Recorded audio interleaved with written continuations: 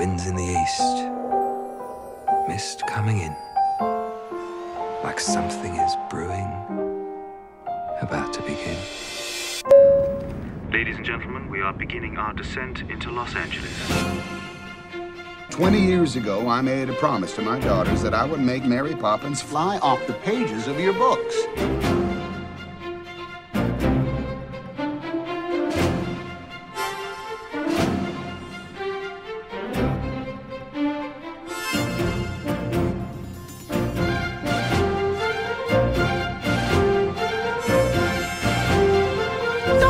Mary Poppins is not for sale. I won't have her turned into one of your silly cartoons. Says the woman who sent a flying nanny with a talking umbrella to save the children.